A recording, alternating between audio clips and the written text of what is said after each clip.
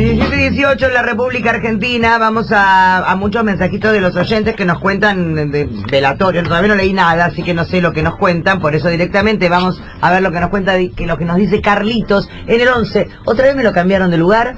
¿Por qué lo ponen allá si yo trabajo acá? O eso, lo llevan lejos para que uno vea, sácalo.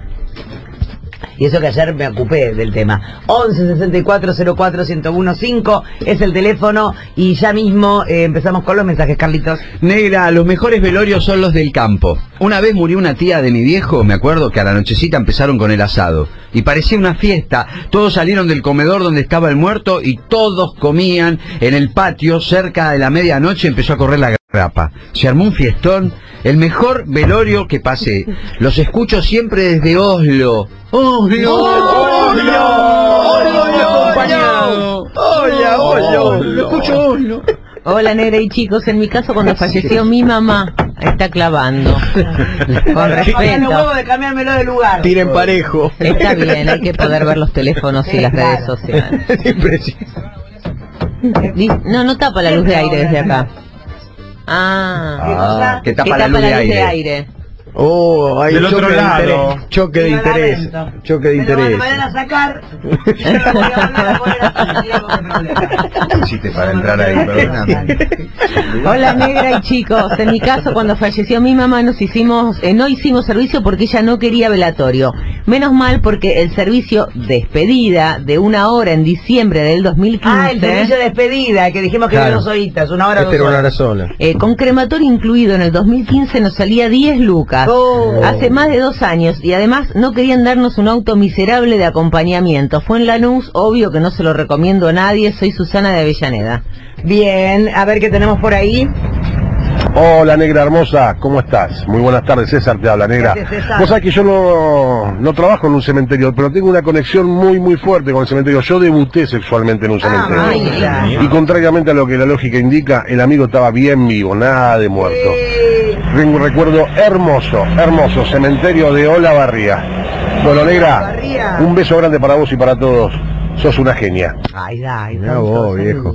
Eh, negra, en el velatorio de mi suegra, hace tres años, nos salió 20 luquitas. Un poco caro y encima el servicio de lunch, una mierda. Gatillamos velatorio, cremación y de nuestro bolsillo salió a comprar algo para tomar y comer, porque no nos dieron ni un café, solo mate cocido. Podés creer, dice Ale de Quilmes. Mi amor, buenas tardes a la negra hermosa y todos de la mesa. Son así las cruces porque se las roban. Claro, es lo que yo estaba diciendo de la tristeza que da que no, no puedas poner una cruz porque te la, te la chorean. Yo se la hice a mi mamá dos veces.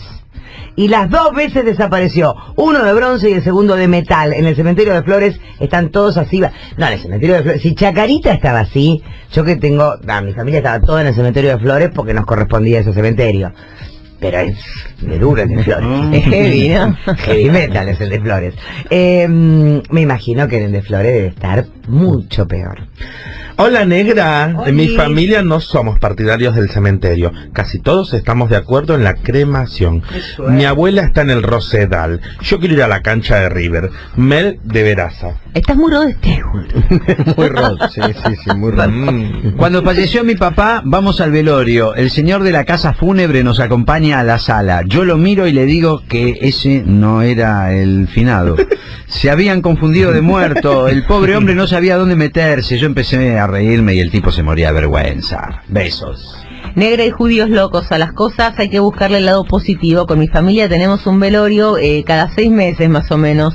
Ya con la casa velatoria nos conocemos y nos hace precio. Nos permite pagar en cuotas. El próximo tiene un 25% de descuento y cosas así. Qué triste, pero ayuda lindo, ¿eh? a los que seguimos en juegos, dice Lucas de San Justo. Hola mesa, cuando se murió mi abuelo tenía de todo, sándwich de miga, servicio de ¡Qué café con mucama, un lujo, hasta el cortejo de autos era un Mercedes Benz, dice topísimo, fue en el 96, ahora ni en pedo, al asador, dice Nelson de Merlo. Hola, hola, hola. Tengo Ah, por ahí- ¿no es capaz de- de es un turismo? tema, Es un tema. La gente le gusta ir al cementerio Recoleta.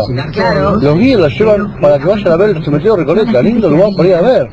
No, pero tiene unas cosas divinas, bóvedas que la Hay puta madre. aparte. Hay celebrities, escúchame. claro. Hola Eli. Cuando éramos chicos todos los fines de semana antes de ir a la casa del nono, pasábamos por el cementerio de la nube donde estaba la nona. Era terrible, pero nos llevaban con total naturalidad. Claro, totalmente. Nuestros padres era así, era parte de vamos a ir, a- vamos a ir después a lo de Sara, me decía mi abuela, vamos a comprar una factura a la tarde, pero ahora vamos al cementerio. Era una salida al salida, cementerio. sí.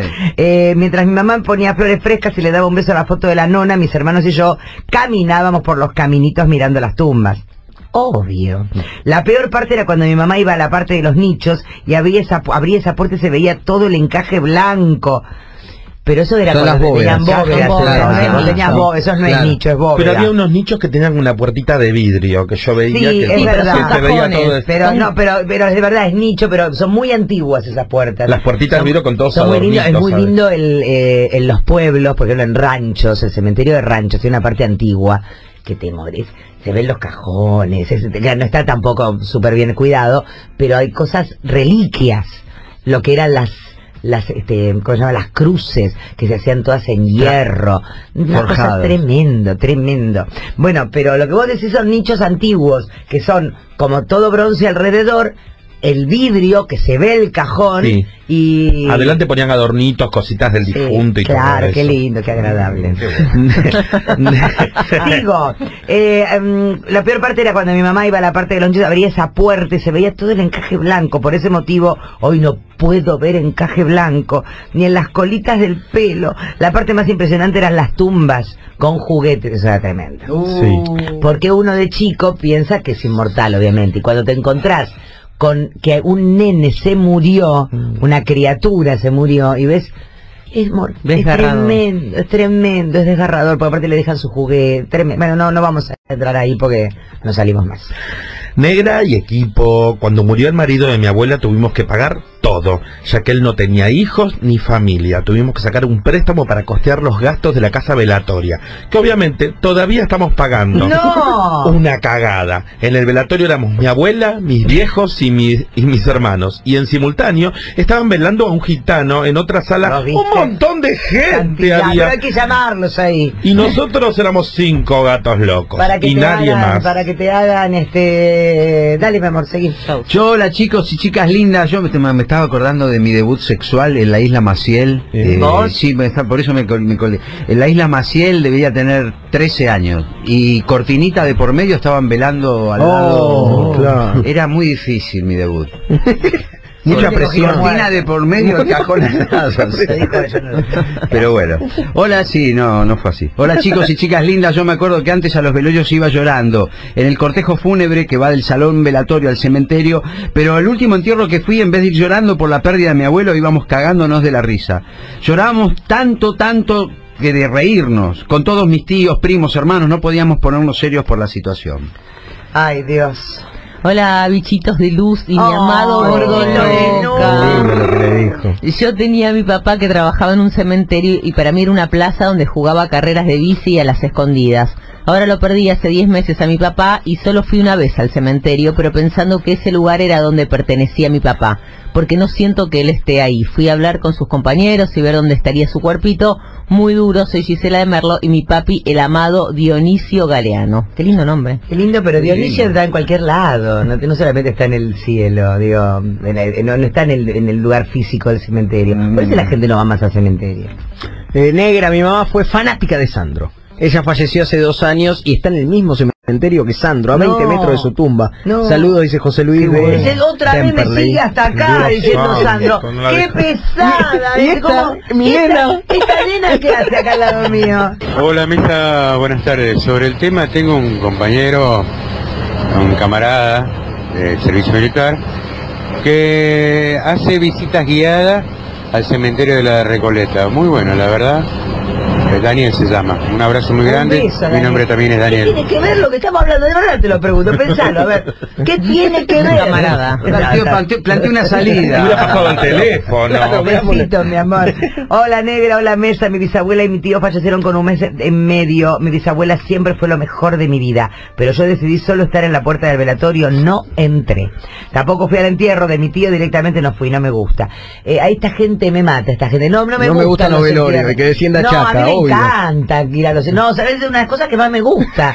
No, no me gusta ver enfermos entravos, claro, a mí también me Yo a encanta. los hospitales no te entro porque quedo mal aspectado me da- me da después. mal.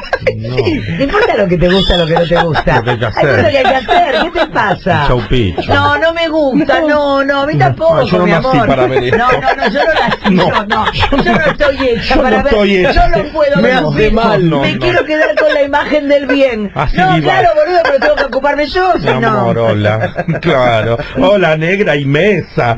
Tienen razón, sale carísimo morirse. Yo perdí a mi hermano hace un año y voy seguido al cementerio. El sábado fui y están bastante abandonados los ¿Vos viste cementerios. los- los- que- cómo están? Silvia de Lanús. Silvia, un besito. Pero además, la base de la industria, me parece, de esta industria, es esto que vos mencionabas antes de la confusión y ese momento de dolor, donde si vos estás festejando un cumpleaños, decís, no, este, este gasto no lo hago en el próximo. Acá, Acá es todo hoy. por eso cuando se muere una persona, por unas horas o por unos días, hablas en presente. Entonces, hay en ese gesto como una especie de último regalo. ¿Qué le vamos a dar a papá? Ven con el está. cajón, Entonces, no, lo que es cualquier cajón, claro. regalo, Entonces viene el Sí, señor. dame el de Pami, no me molesta la quiere- porquería de Pami que cuando se, se pone ahí ya se, se rompe. No ¿Quiere ver el de. Pami? Dice, el- pero usted lo quiere ver de verdad, Sí, sí, dice. sí, quiero meterme Pero usted adentro. está seguro. Sí, me quiero meter se adentro descorre- de Pami. Se descorre el imaginario telón y es una, eh, Dice, ni una manzana puede descansar en este cajón.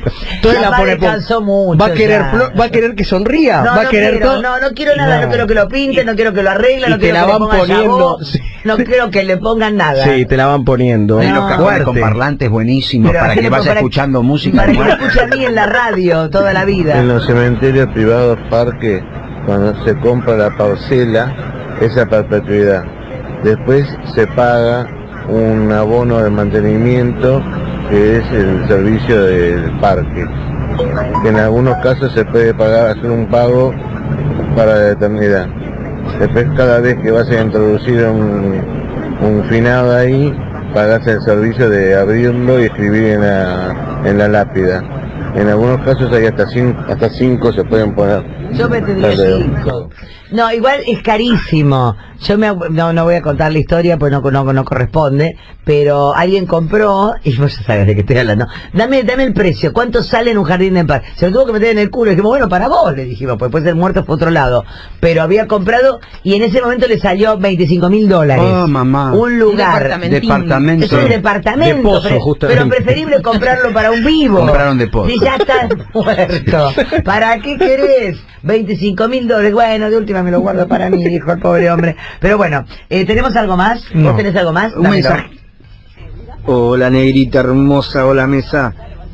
Tienen razón, yo trabajo en la paternal a media cuadra de Avenida San Martín y en el verano había un olor a muerto que es más, jodíamos con nuestro compañero y le decíamos que era olor a, al bichito de la paternal, pero tiene razón, un olorcito Qué feo. No, me mandan un mensaje dice que lo que te dan en los cementerios privados de cremación es ceniza simbólica, no es la del que murió. ¿Y para qué pagué yo? Para que Pero, lo pero, hagan pero ceniza. escúchame, yo quiero que me den a mi, a mi, a mi familiar. Si pagué para que toque Phil Collins, quiero que toque Phil Collins. Ahora que me van a mandar. Por favor.